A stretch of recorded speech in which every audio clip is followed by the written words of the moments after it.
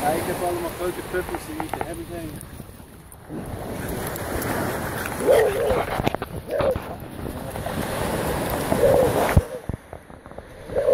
Norbert.